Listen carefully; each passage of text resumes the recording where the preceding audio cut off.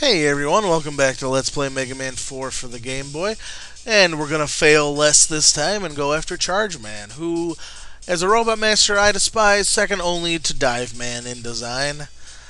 Uh, at least Dive Man just had the whole periscope and fin thing going on. Charge Man is just a big train stuck on a two-legged body. Or a bipedal chassis for people that want me to sound more technical. Ow.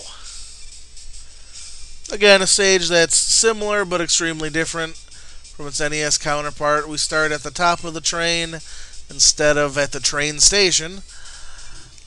And there's lots more spikes to deal with in this version. But again, same theme music, same overall theme and style of enemies, just a little different. Alright. P-chips. Ow. At least they have the common decency to leave after they hit me. Alright. Uh, well, at least I'm not dead. That seems like a pretty long jump. Oh, I remember what happened the last time I trusted Rush. I died. Let's do it again. Oh, I was trying. I was spamming the buttons to slide.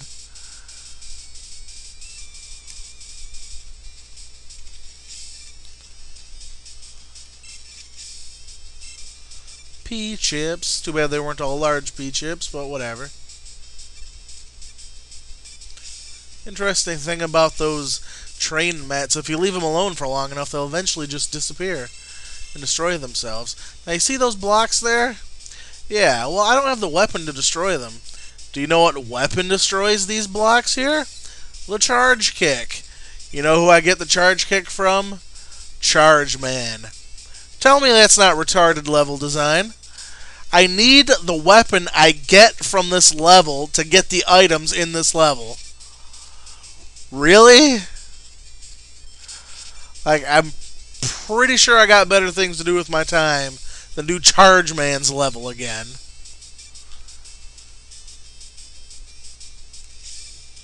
Just silly. I just, I just don't. Fine, do it, Mega Man. Just barely, I see. P chips? Yeah, that's right.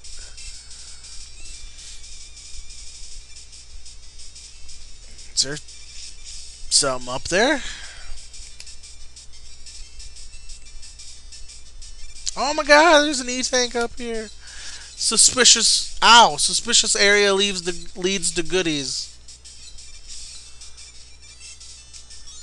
Don't know what these egg things came back off of. I mean, it's just a drop on the other side, as we see right there. But hey, I'll take a free E-tank. Why not? Holy crap! How am I supposed to get that? I mean, uh, yeah, uh, uh. This is the hardest letter in the. Oh wait. Oh okay. Wait a second. Okay, never mind.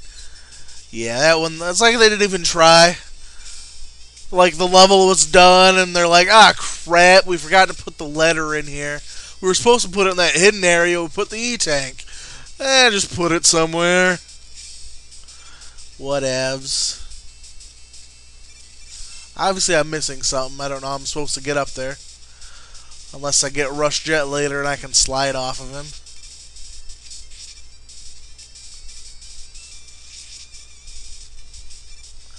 Can't believe how much these chickens and their eggs bog the game down. The game slows down so much when they're on screen. Ah! I hate those jumps. It looks like I'm not going to make them.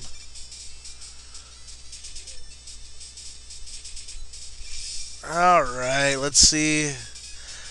Power Stone is better in this game, so let's give it a chance. I won't let anyone say I don't give it a chance. Not that it deserves a chance. Ow. Ow. Charge Man spends... A, ah, just kill me. Charge Man spends a significant amount of this fight invincible, just like in the NES version of Mega Man uh, 5, which he's in. Else with... Yeah, Power Stone shooting three stones instead of two It's definitely easier to hit him. Ja! But those stupid little things are still random. I'm just... Oh, God!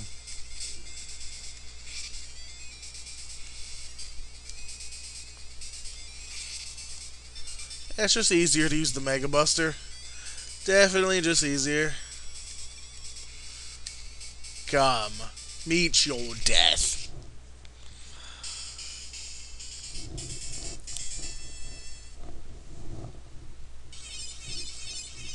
Alright, less failure in that video. Still some failure, but definitely less.